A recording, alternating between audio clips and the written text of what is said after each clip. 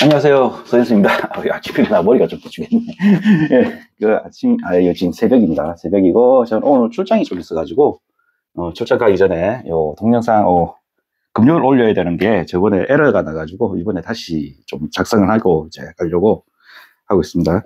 어, 오늘 지난번 시간까지는 이제 그 단독형 일중 오늘시를 제거하기 위한 이제 이론을 살펴봤죠. 이제 그 중에서 제일 중요한 게 이제 그 변온 좀 적으면서 적, 적으면서 말로 말로 할까요? 네, 적으면서 할게요. 저 하면서 제일 중요했었던 게 이제 지난 시간에 이제 변온이라는 거 배웠죠. 변온. 변온. 그리고 조조가온 하는 것도 배웠고 그 변온하고 이제 결로 작물결로라고 보시면 돼요. 작물결로. 그리고 조조가온. 아니, 가온이 아니고 가온이죠. 조조가온. 이런 것들을 배웠습니다. 이게 이제 일중 제어할 때 이제 중요하거든요. 왜냐하면 변온을 쓰고 어, 일중 비닐 가지고 실질적으로 이제 온도를 제어하기 위한 용도니까. 그리고 오늘은 실질적으로 일중 제어 어, 수치에 대해서 한번 배워보겠습니다. 자, 요렇게 배웠고, 이제 오늘은 본격적으로 들어가는 건데, 어, 제가 요 수치를 하나 좀 준비를 했습니다, 먼저. 자, 요게, 요거, 요거 보이시나 모르겠네. 요거, 요거, 요거, 요거, 요거에, 요거, 요거, 요거. 요게 제 블로그에 가면 있습니다, 이거. 이거 뭐 어, 엄청 고급 자료가 아니고, 제 블로그에 가면은 이게 있는데, 중요한 거는 뭐, 이걸 이제 수치를 알려드리기 전에, 이제 먼저 중요한 게 뭐냐면은, 이 수치들은 실질적으로 있어도 사용할 수가 없습니다. 왜냐하면 개척기가 없고 자동 제어를 사용할 수 없으면 이 수치는 무용지름입니다. 그냥 참고용으로는 될, 될 뿐이고 이 수치에서 한두 개 내가 필요한 정보를 빼서 이제 그 참고 자료로 사용할 수도 있지만 이 수치를 특정 기기 안에 넣어버렸을 때 오작동할 가능성이 있습니다. 오작동이라는 거는 그 원하는 대로 움직이긴 하지만 여러 변수 때문에 이제 사용을 못 한다는 이야기입니다. 그게 오늘 왜 그래 되는지 이제 그것도 같이 설명해 드릴 겁니다. 일단 이제 요를 배웠고 이제 오늘부터는 이제 실질적으로 수치에 대해서 이야기할 겁니다. 수치. 첫 번째 이제 일중 제어에서 이제 제일 모든 조건이 제일 좋을 때 쓰는 최고 하위 기능이죠. 하위 기능. 이 상위 기능이 아니고 하위 기능인데 하위 기능. 그 일중 컨트롤 박스는 모든 제어는 이제 우선순위에 의해서 제어가 됩니다. 꼭 100% 우선순위 제어는 아닌데 어쨌든 우선순위 제어인데 첫 번째는 이제 이제 온도 이제 변온 제어, 변온 수치, 변온 수치부터 한번 볼게요. 제 같은 경우는 이제 구단 제어기를 사용합니다. 구단 제어. 구단 제어를 사용해서 이제 온도를 설정하는데 어 했지만 구단 제어를 쓰는 이유는 결로 때문에 그렇습니다. 결로하고 뭐 이런 것 때문에 사용하는 거고, 요 수치를 넣는 방법을 제가 설명을 해드릴게요, 이제. 단계를 1, 2, 3, 4, 5, 6, 7, 8, 9. 이렇게 됐을 때 우리가 이제 딸기를 재배한다고 가정하잖아요. 그러면 첫 번째 해야 될 거 기준이 기준 1. 야간 온도를 몇 도로 날 건지. 야간 온도를 몇 도로 날 건지 먼저 설정을 해야 됩니다. 오늘은 야간 온도를 8도로 날 거라고 살, 설정을 하고 이제 설정을 하겠습니다. 8도라고 하니까 일단 9단 여기 이제 온도 요거 하기 전에 시간 설정을 먼저 해줘야 되거든요. 근데 제 같은 경우는 요 앞에 수치표에 보면은 이제 7시부터 합니다. 여기 보면은 요거를 이제 해 지는 것부터 해야 되는데 이제 제일 기준점으로 하다 보면은 이제 쓰다 보면은 요거 이제 네, 보통 아침에는 1시간 나누라다가 이제 그 중간쯤에 올라오면은 이제 변폭이 작아지는 사인 그래프가 이렇게, 이렇게 올라가잖아요. 이렇게 올라가기 때문에 여기서는 변폭, 여기서 여기까지는 변폭이 큽니다. 변폭이 크고 여기서는 변폭이 작기 때문에 여기는 이제 2시간 기준. 여기는 1시간 기준. 이렇게 합니다. 그래서 저 같은 경우는 시간을 7시, 8시, 9시, 10시, 그리고 여기서 12시, 여기 14시, 여기 15시, 16시, 17시. 이렇게 설정을 합니다. 제 같은 경우는. 요거는 파프리카든 뭐 다 똑같은데 이건 겨울 기준이고 이거는 겨울. 사실은 여름에서도 상관없습니다. 나중에서는 그 나중에 제가 좀 이따가 설명해 드릴 거지만 기능 중에서 야간 감지 기능이 있어 가지고 여름 된다고 해서 특별히 수치를 바꿔줄 필요 없어요. 제 컨트롤 박스에서는. 그래서 이렇게 먼저 하고 난 다음에 이제 8도로 나잖아요. 야간을. 야간을 8도로 나니까 여기서 야간 온도 플러스 보통 한 2도에서 한 4도 정도까지 해주거든요. 제 같은 경우 2도. 플러스 2도 했으니까 여기서 10도가 되는 겁니다. 10도. 야간 온도를 8도에 나잖아요. 야간 온도. 난방 온도. 이 난방 온도도 8도로 해야 되는 게, 그, 대포나 이런 거 쓰면 또 이야기가 좀 달라집니다. 대포 쓰면 온도 변폭이 크기 때문에 이건 온도를 좀 높여야 되고, 제 같은 경우는 이제 17시에 닿는 거를 10도로 설정하게 됩니다. 왜냐, 지난 시간에 될때 습을 최대한 빼내야 되거든요. 그렇다고 이 8도 비트로 더 빼내면 문제가 되고, 그래서 저는 한 10도 정도까지만 빼고, 그리고 한 다음에 여기는 이제 11도. 여기서 이제 사이클이 1도 높아졌죠. 그리고 12도, 13도, 15도. 왜냐하면 여기서 여기까지는 이제 난방기로 돌아갑니다. 여기서는 이제 난방기로 돌아가고 일단 먼저 적어놓고 할게요. 여기 18도. 여기가 이제 20도. 18도, 여기 보통 한 24도, 24도까지 올려도 상관은 없거든요.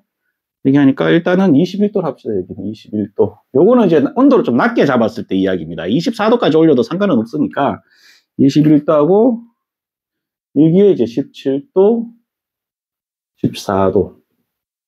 이런 식으로 스타일이 갑니다. 만약에 이거를 지금 요 같은 경우는 좀 작물을 좀 키우는 상태로 작물을 좀 온도를 좀 주는 상태로 이제 가는 거고 어 만약에 여기서 이제 내가 좀 다른 수치를 넣어보고 싶다 하면은 이제 뭘 해야 되냐면은 야간 온도가 8도였잖아요. 그러면은 이 14시에 이 14시에 몇 도까지 올릴지 요거를 한번 설정해 줘야 됩니다. 여기.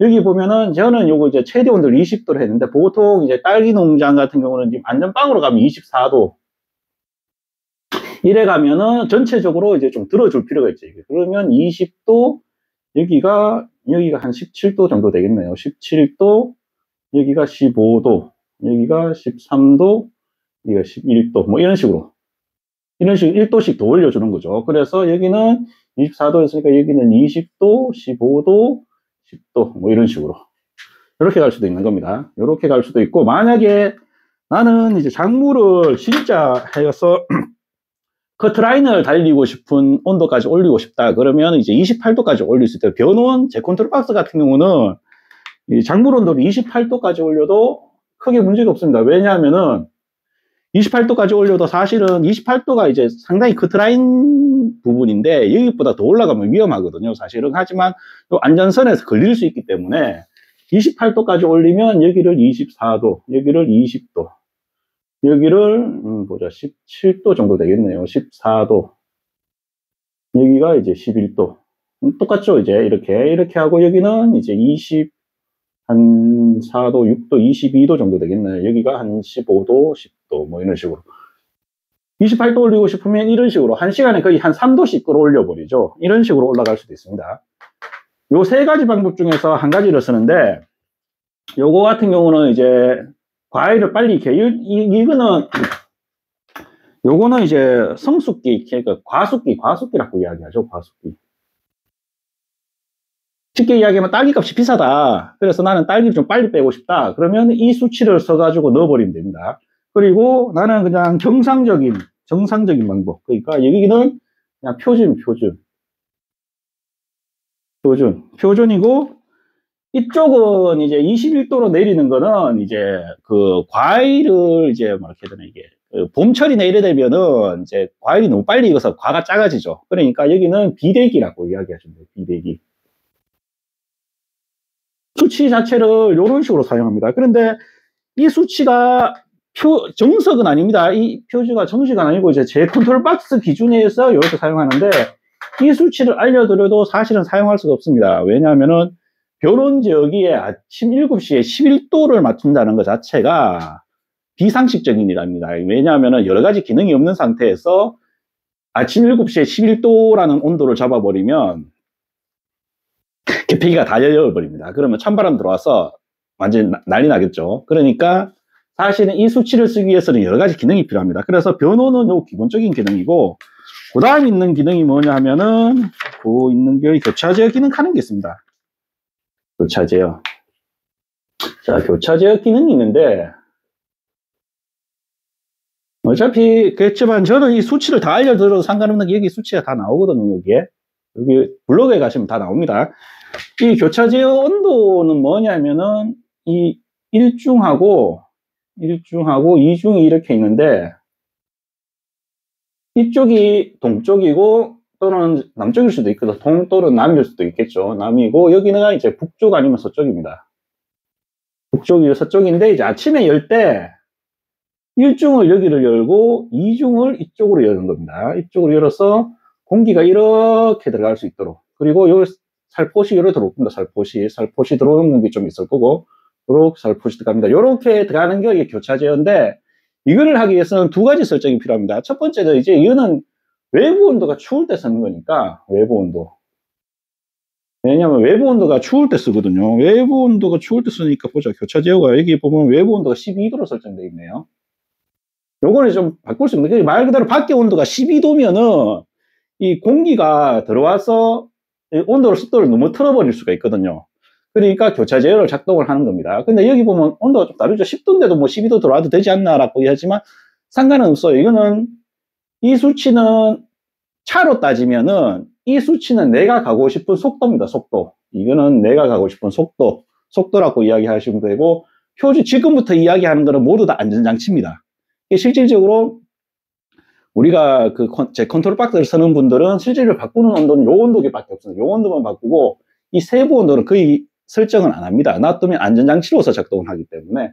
그리고 외부 온도가 12도인데 외부 온도를 12도를 하면 하우스 온도 내부가 너무 급격하게 올라가 버리는 있습니다. 왜냐하면 외부 온도만 보고 작동을 시키면 이 광이 얼마나 뜨느냐에 따라서 문제가 될 수 있거든요. 그래서 이 브레이크 작동을 좀 해줘야 되는 그런 제어가 있는데 그게 보면은 내부 온도도 측정을 해야 됩니다. 결국은. 내부 온도는 여기에 보면은 이제 24도라고 설정되어 있습니다. 24도.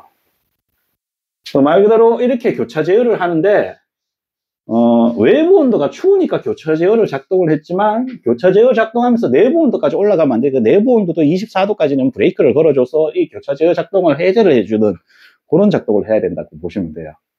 이 교차 제어. 그러니까 이게 없으면은 아침 7시나 8시에 개폐기가 먹같이 열려가지고 그냥 막 들어오는 바람이 막 들어가서 문제가 생길 수가 있다는 겁니다. 그러니까 요 제어를 해주고 두 번째는 최대 열림폭 제어라는 게 있습니다. 여기 보시면 최대 열림폭 제어 맞죠? 최대 열림폭 제어 예 맞네요. 여기 보면은 최대 열림폭 제어.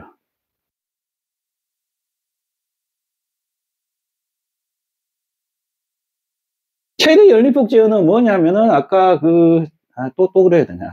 그, 지우지 말까요, 이거? 이거 오늘은 시간을 좀 빨리 해야 됩니다. 이거 끝까지 다 하려면 시간 좀 복잡할 것 같아가지고. 아까 교차 제어를, 아, 교차 제어를 하면은 일중이 이쪽이 열리고 이쪽이 남쪽, 부, 이렇습니다. 부, 부, 부, 부, 부. 오늘 마음이 좀 급합니다.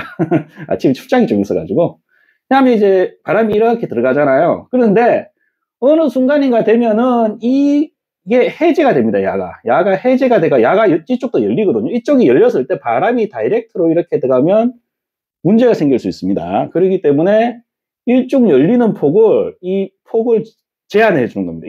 이쪽, 여기하고 여기하고 열리는 폭 자체를 야하고 야하고 이제 많이 못 열리도록 많이 열리면 바람이 너무 많이 들어가니까 어차피 삼중이 방풍벽을 쳐줍니다. 이렇게 삼중이 견인을 해가지고 방풍벽을 쳐주니까 요게만 조금만 열리면 요, 요 벽이 생기면서 공기가 못 넘어가거든요. 이렇게. 그래서 최대 열림폭 제어라는 걸 쓰는데 최대 열림폭 제어도 보면은 이제 외부 온도가 10도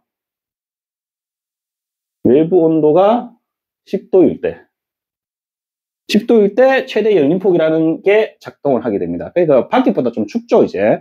그리고 내부 온도는 여기로 보면 22도. 내부 온도는 22도로 설정되어 있습니다. 이렇게. 이렇게 설정한다고 보시면 됩니다. 이렇게 해놓으면은 이 최대 열림폭 제어가 이, 아, 또, 또, 저, 설명 다 하고 할 걸 그랬나? 예, 다음할 그랬습니다. 이 열림폭 제어가 이제 아침에는 작동을 합니다. 아침에는 작동을 하다가 아침 작동. 해가 뜨죠. 해가 뜨고 하우스 온도가 올라가고 이제 외부 온도가 올라가면은 자동으로 이 열리던 폭을 이 열리던 폭을 여기까지 단계적으로 해제를 해줍니다. 온도를 보면서 단계적으로 딱딱딱딱딱 올라가면서 해제를 이쪽도 똑같고 그래서 외부에 추운 거 차가운 공기가 있거나 이래도 이 내부로 많이 공기를 못 밀어오도록 이제 강제로 이제 제어를 해주는 겁니다. 그래서 이 변온 제어기를 쓰기 위해서는 이 두 개의 작동 제어가 필요합니다. 이 교차 제어하는 거하고 최대 열림폭 제어라는 게 꼭 필요합니다. 왜냐, 아겠지만 아침 8시에, 7시에 11도 잡으면 개팩이 다 열려버리거든요. 다 열려버리고 이러면은 그 추울 때 다 열려버리면 밖에 찬바람 맞는단 말이에요. 찬바람 맞으면 그 다 아시잖아요. 건조해져 가지고 이제 뭐 흰가루 이런 거 덮어서 버리는 거. 그래가지고 아무리 춥지만 아, 무리 온도를 그 변온 온도계를 맞춰야 되지만 그 상황에서 이제 문제가 생길 수 있기 때문에 그 문제를 방어해주기 위한 안정 장치로서 교차 제어하고 최대 열림폭 제어라는 게 있다고 보시면 됩니다. 그래서 이 두 개가 없으면은 추운 날에는 이걸 못 여는 거예요. 영하, 영하로 떨어진 날에는 이 변온 제어 자체를 할 수가 없어요. 할 수가. 설정을 해놔도 온도계 입장에서는 정상적으로 움직였지만 하우스 입장에서는 이제 생, 물을 키우는 하우스 입장에서는 이거는 문제가 생긴 거예요. 그냥 고속도로를 따지면 정속 주행은 했지만 앞차하고 사고 난 거예요. 그냥 앞차하고 뭐 앞차하고 들어박든지 뭐 아니면 노면에 뭐 돌이 튀 가지고 차가 전복되든지 이런 식으로 해서 심각하게 문제가 생겨버린 거예요. 그래서 제가 이제 항상 그 강의를 하고 블로그 운영이나 뭐 이런 걸 하면서도 항상 하는 말이 변온 온도계 한계 놓고 절대로 변온을 할 수 없다라고 하는 이유가 있기 때문에 그렇습니다. 그래서 최소한 변온 온도계를 설락하면 최대, 최소한 최대 열림폭하고 교차제어라는 건 들어가야 된다. 연동 하우스 같은 경우는 이제 뭐 이중 하우스가, 이중이 없으면은, 어, 저 교차 제어 기능은 없어도 이제 최대 열림폭 기능이 있어야 되는 거죠. 그리고 들어가는 게 또 뭐냐 하면은, 어, 여기보다, 전기 습도 제어 하는 게 있습니다. 또 전기 습도 제어. 전기 습도 제어 기능이 뭘까? 전기 습도 제어. 전기 습도 제어는 이 기능은 뭐냐면은 이제 하우스가 이제 변온을 우리가 해요. 변온을 하는데 흐린 날이 있어요. 흐린 날. 흐린 날에는 이 변온 온도계를 따라가지 못합니다. 쉽게 얘기하면 비닐 하우스가 흐린 날은 계속 닫혀 있어요. 계속 닫혀 있다. 계속 닫혀 있다. 그리고 작물은 광합성을 하죠. 광합성을 한다. 그러면 과습이 됩니다. 과습. 그것도 저온의 과습이 됩니다. 그러면 작물들의 이제 잿빛 곰팡이나 이런 게 생길 확률이 상당히 높아집니다. 이래 되면 잿빛이나 이런 게 상당히 높아지기 때문에 이럴 때 뭐 할 수 있는 게 이제 뭐 하는 방법은 이제 보일러 트는 거, 보일러 작동 있고 아니면 배기팬 뭐 이런 게 있는데 근본적으로 해야 되는 거는 근본적으로 일중을 열어서 환기를 해야 됩니다. 환기. 간단하게 얘기해서 환기를 해야 됩니다. 그래서 이 전기 습도 제어 제 컨트롤 박스에 보면 전기 습도 제어기가 있는데 여기 뭐 작동 시간이라는 게 있습니다. 작동 시간. 이제 이 작동 시간은 광합성하는 시간을 설정을 하게 되거든요. 제 같은 경우는 보통 뭐 한 8시에서 할 수도 있고 뭐 아니면 9시에 얼음을 파시하려고 하면 보통 8시부터 해버립니다. 왜냐하면 이 전기 습도 제어 기능이 작동하면서 일중에 있는 얼음까지 파쇄해 주거든요. 정기적으로 이제 창이 열리면서. 그래서 이제 광합성이 있는 보통 한 13시까지. 여기서 보면 전기 습도 제어기. 이때 되면 항상 열리는 건 아니죠. 왜냐하면은 추울 때도 있고 따뜻할 때도 있으니까 계속 열리면 안 돼요, 또. 여기서 보면은, 그래가지고, 이제 뭘 또 측정해야 되느냐면은, 내부 습도를 측정해야 돼요, 내부 습도. 자, 내부 습도 같은 경우는 컨트롤 박스에서 보면은, 여기 보면 80% 이상이라고 해요, 80%. 예, 쉽게 이야기하면은, 일중 컨트롤 박스에, 일중 컨트롤 박스의 전기 습도는 8시에서 13시 사이에 습도가 80% 이상이면 작동하는 겁니다. 개폐기가 열리면 이 습도는 무조건 떨어지게 돼 있어요. 그러니까 개폐기가 열린 상태에서는 작동을 하면 안 됩니다. 전기 습도 제어 기능은 이 시간으로만 작동해도 안 되고 습도로만 작동해 습도로만 작동해 버리면 야간에 막 열리는 수가 생기거든요. 그러니까 이 시간과 습도를 정확하게 설정을 해줘야 된다. 뭐 광량까지 측정해주면 좋은데 사실은 광량으로 해도 안 되는 게 아침에 여명이 올라오거나 또는 이제 아침에 미리 열어서 환기를 시키려고 하면 또 그 광장으로도 안 됩니다. 그래서 보통 이제 이래두지도 못하니까 이제 최, 최후의 방법이 그냥 작동 타이머 하나를 설정을 하고 이제 내부 습도 그리고 이 시간을 해놓고 내가 이제 얼마나 빈도 있게 열어야 되느냐 이거를 또 설정을 하게 됩니다.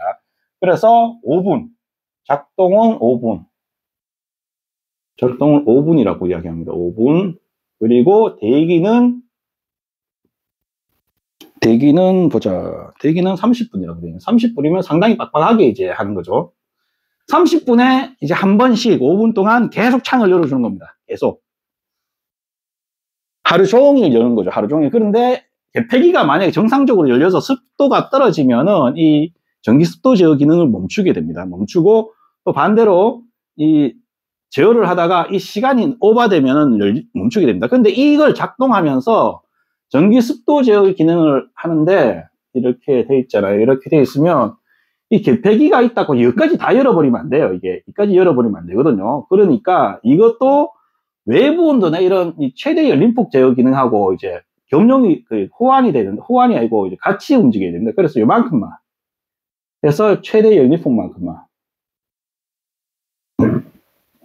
폭 그래서 요두 개는 연동이 되게 됩니다. 연동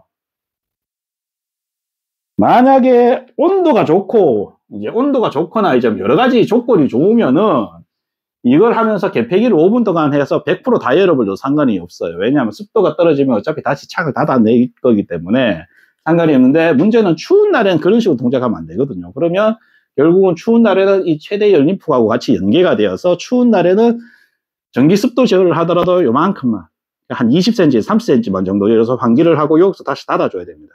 5분 정도만 환기하고 닫아주고 5분 정도만 환기하고 닫아주고 그러다가 해가 떠서 이제 하우스 온도가 올라가고 개폐기를 열어서 정상적으로 습도 제어를 이렇게 할 수 있으면 습도가 떨어지거든요. 그러면 이 전기 습도 제어는 자동으로 해제가 돼야 되는 겁니다. 이런 식으로 보시면 될 것 같아요. 그래서 만약 설정을 하실 거면 이렇게 하시면 됩니다. 그리고 그 다음 있는 게 뭐냐면은 야간 감지 기능 하는 게 있습니다. 야간 감지 기능.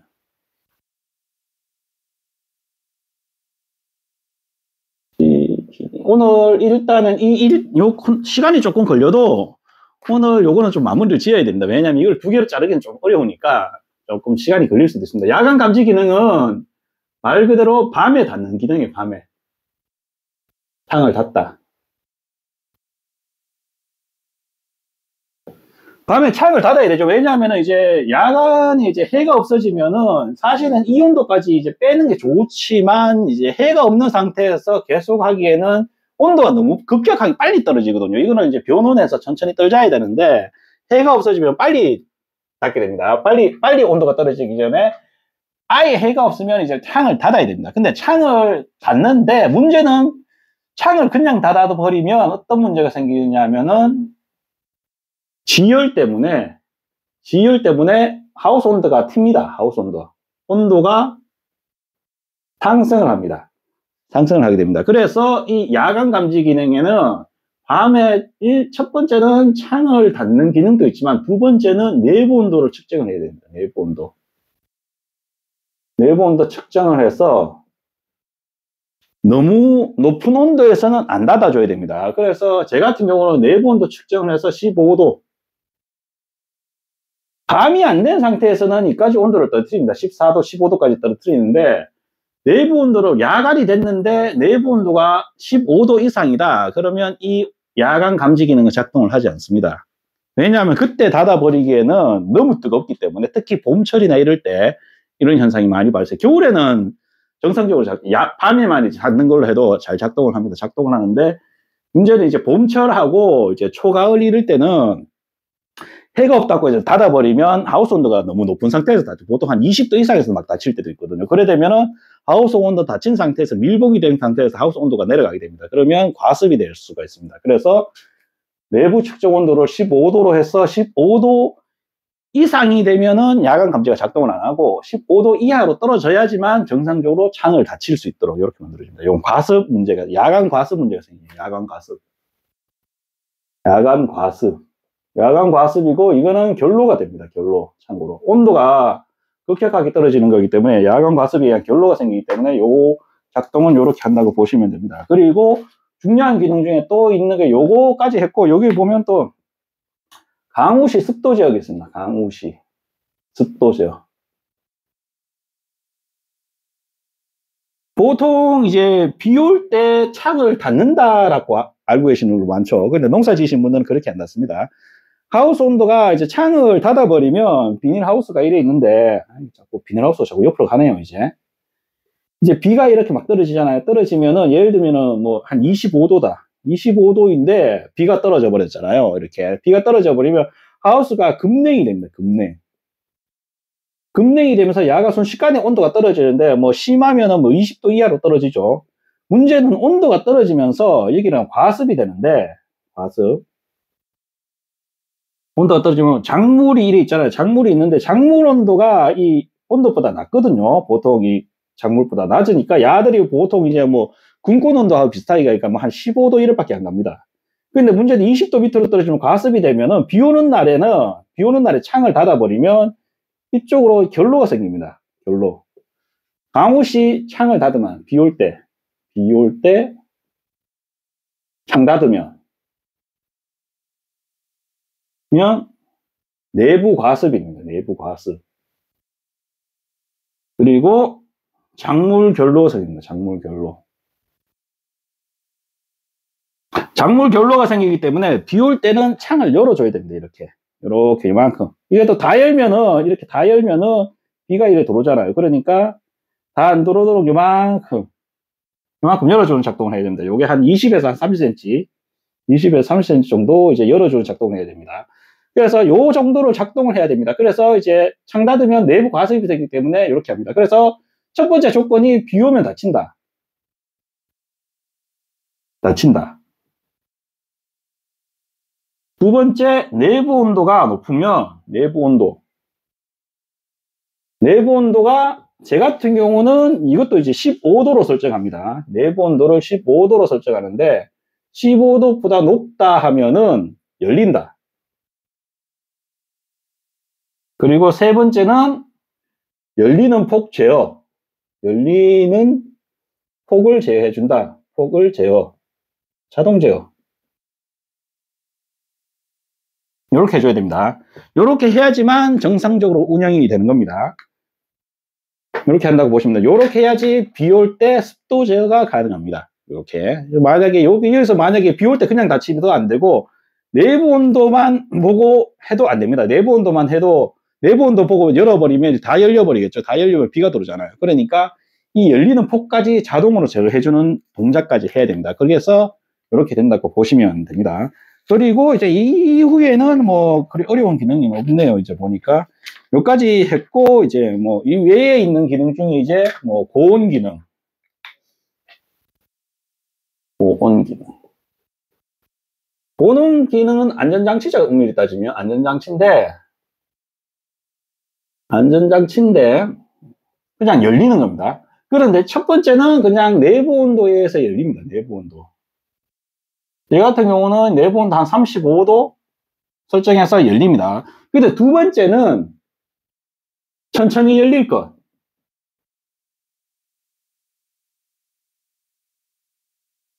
이게 뭐 열린다 해서 한꺼번에 확 열려버리면 또 문제가 생길 수 있거든요. 그래서 천천히 열릴 수 있는 하는 그 기능이 들어가야 된다는 거.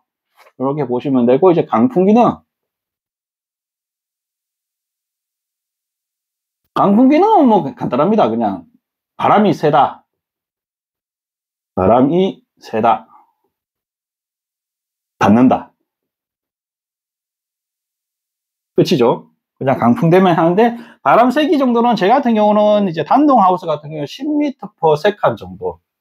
이 정도 측정하면서 합니다. 연동형 같은 경우는 한 8m 정도 하고 8m/s 하고 이제 단동 같은 경우는 바람에 대해서 좀 강하거든요. 이제 좀 높이도 낮고 해서 바람에 대해서 좀 버틸 수 있는 그게 되니까 8m, 세커, 한 10m 정도로 해서 측정을 한다고 보시면 됩니다.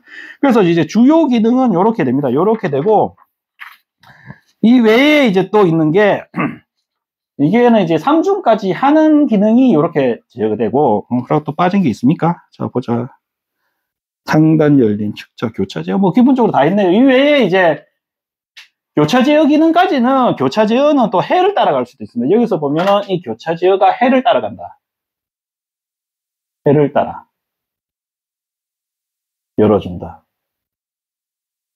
3중에서는 크게 그 의미가 없는 기능인데, 이게 단독형 하우스에서 보면 어떻게 되냐면은, 하우스가 이렇게 되면은, 이쪽이 동쪽입니다. 동, 서. 아침에는 이쪽 창을 열어줘야 되잖아. 이쪽 창을 열고 이쪽 창을 안 열리게 이제 제어를, 제어를 해줘야 됩니다. 교차 제어나 이런 열림폭 제어할 때. 그런데 해가 이렇게 넘어가잖아요, 이제. 오후 되면 12시가 넘으면 이쪽이 열리고 이쪽이 닫혀주는 거. 요게 자동으로 되는 기능도 있습니다. 요거까지 자동으로 되면 좋은데 3중에서는 크게 필요 없는 기능입니다. 왜냐하면은 3중까지 있으면은 3중은 방풍벽이라는 걸 사용합니다. 방풍벽. 방풍벽이라는 걸 사용하기 때문에 사실은 이 기능이 그렇게까지 필요는 없습니다. 그래서 제 같은 경우는 3중이 있을 때는 이 기능을 안 넣습니다. 그런데 이제 2중밖에 없다. 하우스가 3중이 없고 2중밖에 없다 하면은 요 기능이 들어가면 참 좋습니다. 왜냐하면은 이 창 여는 거를 해 따라가면서 이제 열어주거든요. 그래서 해가 비치지 않는 곳에 있어서 찬바람이 들어오는 걸 막아줍니다. 그래서 요런 기능도 있다는 거. 요렇게. 그리고 최대 열림폭 기능이나 할때 요런 기능들이 문제는 이게 다 전부 다 이 문제는 이것들이 전부 다 자동으로 움직입니다. 자동. 365일. 그리고 24시간. 이거를 사람 손으로 하는 거는 불가능합니다. 참고로. 사람 손으로 하는 건 불가능하고, 이 모든 것들은 365일 놔둬도 이 모든 매뉴얼, 변수, 여기, 제가 컨트롤 박스를 지금 이, 이 컨트롤 박스 3중 그 환경 제어 컨트롤 박스를 단독 환경 제어 컨트롤 박스를 지금 제작해서 이제 출구한 게 상당히 많습니다. 한 30군데 되더라고요, 이제. 되고, 이제, 그 지금 한게한 5년 넘었거든요. 그 대부분 다 1년 동안 자동으로 사용하고 계십니다. 그냥 특별히 손을 안 대고 자동으로 거의 다 사용하고 계시고, 해도 뭐 크게 문제가 없고, 이제 실질적으로 바꿔줘야 된다는 건 아까 했지만, 여기 비대기, 표준, 가속기 정도, 요 정도 수치만 바꿔주고, 그 외에는 거의 바꿔주는, 이 뒤에 있는 거, 이거는 전부 다 안전장치라고 보시면 돼요, 안전장치. 차로 따지면 우리는 이제 몇 도, 몇 시속, 몇 기, 얼마나 갈지 요거만 설정해주면 됩니다. 요거만 설정해주면 이 수치를 내가 아무리 이상하게 수치를 설정해도 이 뒤에 안전장치 있는 이 안전장치들이 감지를 합니다. 감지를 해서 아, 세팅이 이상하구나 하면서 안전장치가 작동을 해서 문제가 없도록 다시 가이드라인 다시 잡아주는 동작을 좀 해줍니다. 그래서 이 수치만 내가 정상적으로 넣으면 된다는 거. 좀 삐딱하게 넣어도 상관은 없습니다. 삐딱하게 넣어도 상관은 없지만 보통 아까 했지만 요 세 가지 수치 중에서 보통 한 개를 사용합니다. 이제 보통 이제 제가 이제 컨트롤 박스를 이제 운영하는데 하면은 보통 이 수치를 세 가지로 주는데 요 세 가지 중에서 이제 내가 마음에 드는 걸 한 개 사용을 하고 나머지는 거의 놔둡니다. 놔두고 만약에 이 수치가 뭐 컨트롤 박스가 이제 내가 원하는 대로 안 움직인다 싶으면 전화를 주시면 여기 온도를 좀 세세하게 조금 조정한다고 보시면 됩니다. 그런데 중요한 거는 이 수치만 해서 일정이 완벽히 제어되는 것은 또 아닙니다. 왜냐하면 이 수치들을 완벽하게 하기 위해서는 또 이중하고 삼중하고 어, 배기팬, 유동팬까지 전부 다 같이 연동이 됩니다. 이게 전부 다 요거, 요거는 일중에 관한 이야기, 일중에 관한 이야기. 요 해서 여기까지 마치도록 하고 더 다음 주에는 이제 보, 이제 이제 이중에 대한 것 갑니다.